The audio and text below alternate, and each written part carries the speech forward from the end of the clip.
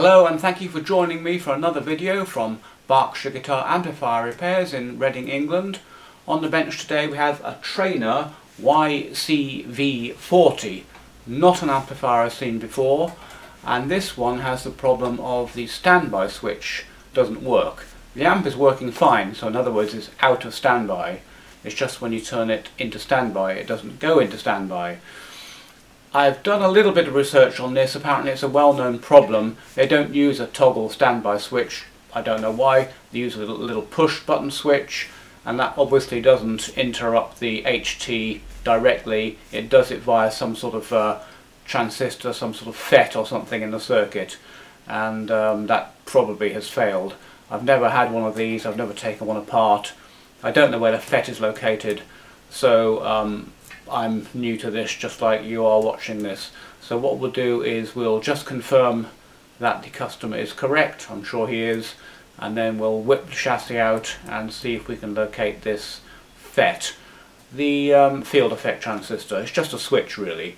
Um, I could probably show you just quickly on a piece of paper, let me just sketch something for you. Bit of a weird way of doing things, but let me just show you this.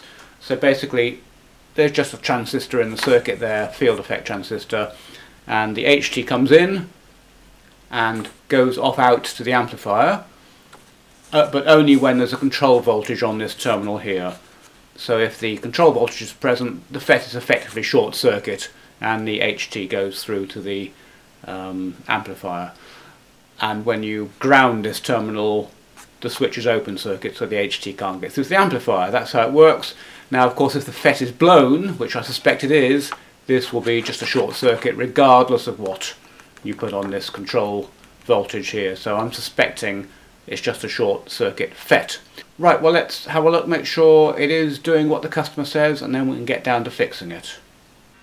Okay, here's the amp top side. Um, looking pretty dirty, I'll have to clean this up.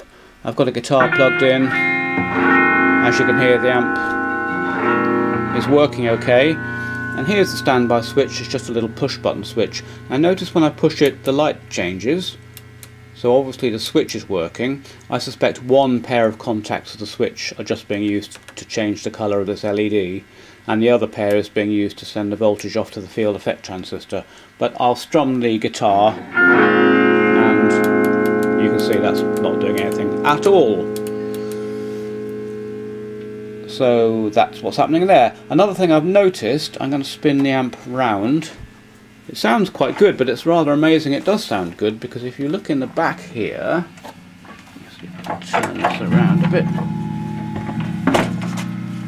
There we go. So, have a look in there. See that milky whiteness on that valve there?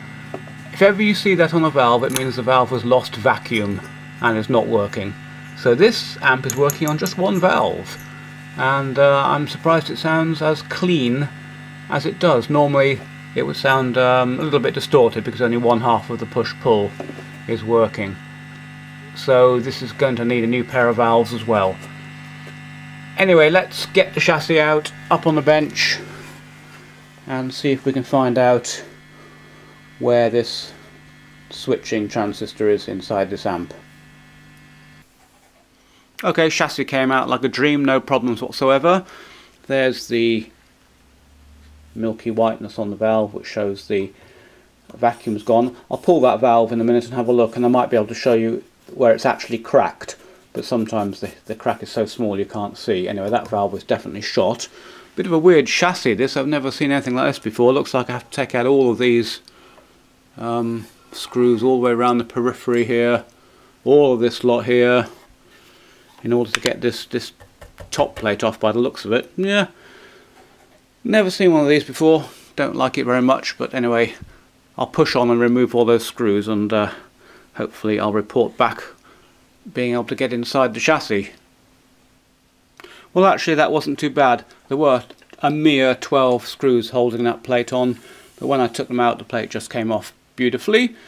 Uh, there's the inside, here's the preamp valves and I went to take this valve out to see if I could discover the hairline crack and um, when I went to pull it out ooh I think I think I might have discovered a hairline crack in this valve yes definitely slight crack there allowing the air to leak in. So that shot. Let's put a new one in there.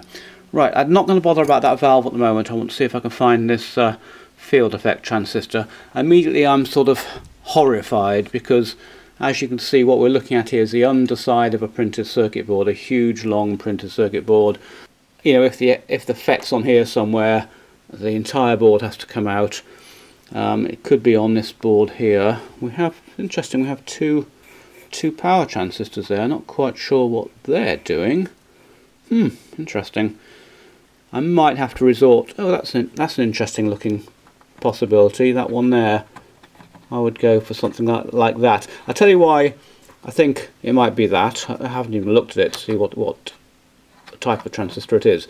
But you see, look, here's the here's the input from the mains transformer.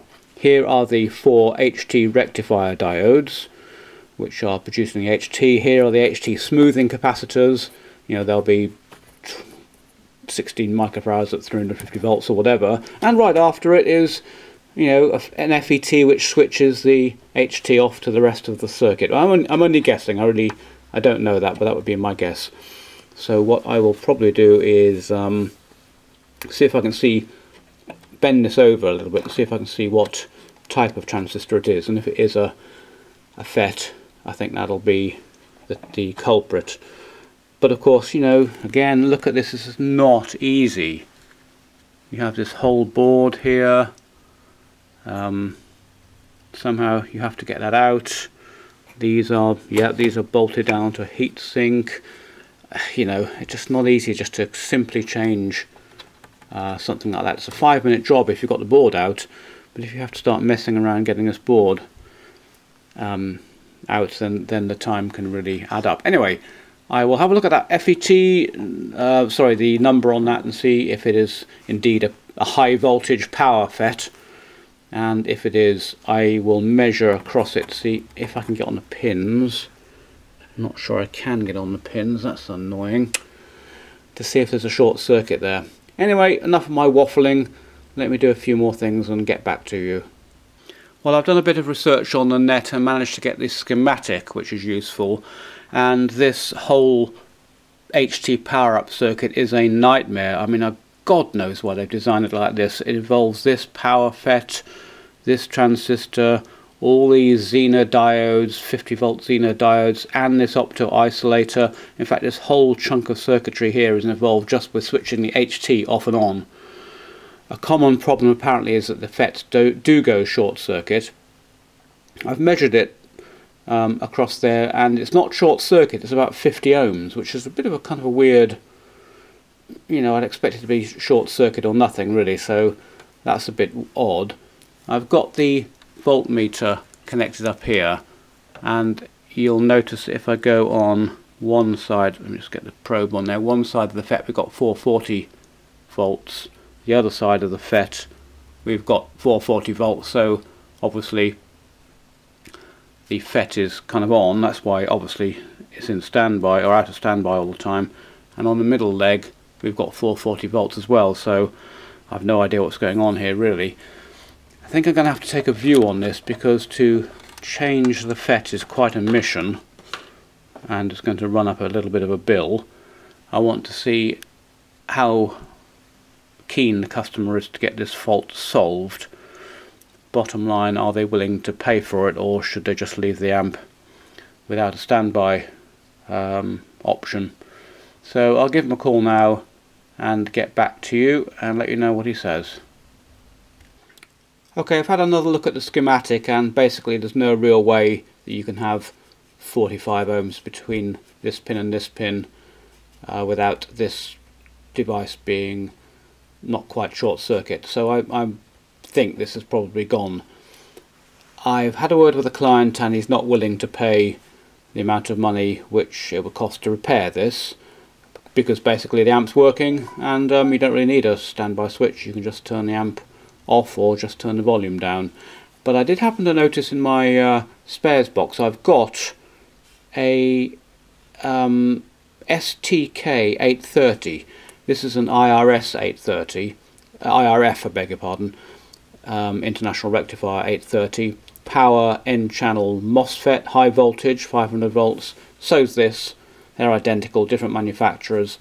So I think what I will do, kind of at my own expense really, is just to clip these leads very carefully off here, cut through them, bend them back, and then just tack this this one in temporarily and see if it all springs to life. If it does, I might have a think about possibly changing it or seeing seeing this isn't the uh, metal tab version. This has got a metal tab so I think I'd probably like to get the proper one.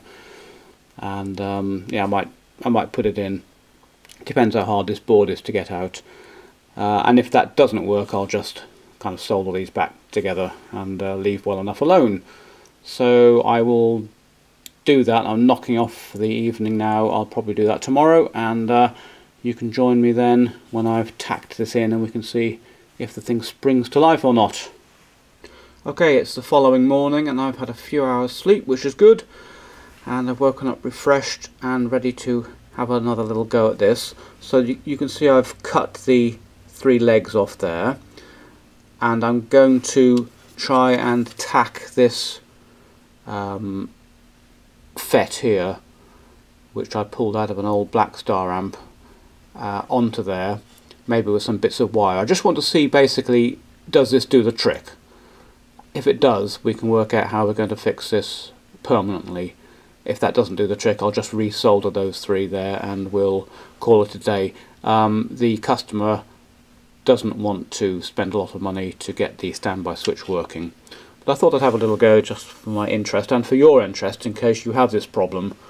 If we can narrow it down to this FET, then at least you'll know that that's more likely what's wrong with your amp. Okay, so I'll just tack some bits of wire on there and tack this FET on there and then we'll see if it works I think. Right, I hope you like my ultra high-tech mod here. Um, three wires going down to the old clipped off tags of the FET there. The ones that go to the board of course. And then I've just tacked in this FET there. Um, I haven't switched it on yet. I thought it'd be fun to switch it on if it blows up on live on camera. That would be good. Always good for viewings. So I'll just turn on. Okay, no nasty bangs. I'm not sure if it's in standby or whether it's in ordinary.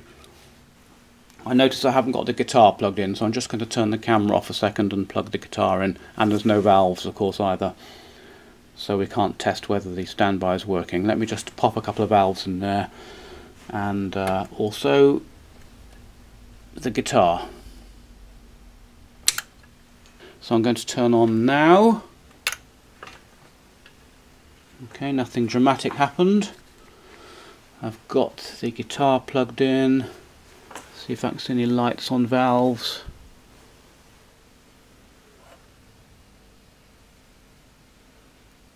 yes I can see the valves glowing so we have power. Let's leave it a little while. I don't know whether it's in standby or not at the moment. It's got that funny little push toggle switch uh, not toggle switch just a little push button switch. You can't really tell which mode it's in so that should be warm enough now if it is in standby I'll just give the guitar a strum nothing there Okay, I'll try pressing the standby switch, which is kind of underneath here, underneath where I've got the camera now. Where is it there? Just feeling. There we go. Press that. Okay. Oh, I know, I haven't got a speaker connected. That always helps. Let me just quickly connect a speaker. Okay, here we go. Speaker going in. Alright, so there we have volume. I can hear that quite well. I expect you can too. Now let's see if pressing the standby button, I'm going to go under here and press the standby button, see if that works. Where are we? No. So I've just pressed that and nothing's happened at all. Okay, I'm going to turn off. Bit of a funny noise come out of it too, I don't like that. this, this FET's quite warm, so that was passing current, so my guess is that uh, something else has gone wrong with the circuitry. This whole of this area here is to do with just the standby going off and on. Absolutely ridiculous. So we we gave it a go. The FET is passing current, but I don't know why it's not going in and out of standby. So basically, because the customer doesn't want to spend any more money on this, we'll call it a day. I'll reinstate those legs of the FET, and then we'll just uh, give up on this, and um, the thing will be permanently on. Okay, I've um, resoldered those legs back on. I've just turned it back on and hopefully it will come to life. Yes, I can hear it coming up in the background. Guitar strum. Okay, that's alright. I was a little bit surprised that didn't fix it because when I measured with that FET tacked on, when I measured the legs, it wasn't that low resistance, that 40 ohms, it was a perfectly high resistance, so I thought that might have done it. Also the FET was getting slightly warm, which means it was passing current. Um, obviously it's taken out some other components in this whole section here and of course anything's repairable. I'd have to completely rebuild this entire section and um, you know, take the board out and do all that. Anything's repairable. It's just time. And time equals money. And on an amplifier like this do you want to be spending 150 pounds to get the standby switch working? And the answer is no because you wouldn't get 150 quid for the amp on eBay. So I'm constantly having to take decisions like that and to check with the customer. Anyway, the amp works perfectly okay, okay and who cares if there's no standby switch. You can just turn the volume down or turn it off at the mains. I'm going to pop a bias probe on these power tubes just to check the bias is okay, but as far as I'm concerned, that's uh, job done. Not, not a very successful video, I think you'll agree. I think you would have liked to have seen me repair this so that if you have the problem you can fix it but at least we've honed down to the area here. Apparently this FET does go, and the existing one has gone, so changing that might do it for you. If not, you're going to have to get very involved in all this circuitry here. To be honest with you, I looked at the schematic, and uh, it's not very clear how it works, and as you can probably guess, I'm quite good at reading schematics. It was very opaque about what's going on on here. Um, bonkers, bonkers system. You've got this all this real estate here handling the standby switch. What's wrong with putting a, an ordinary toggle switch up there? No idea. Anyway, there you go. Uh, I'll call it a wrap on this, and uh, thanks for watching the video, and I'll catch you on another, hopefully more successful fix.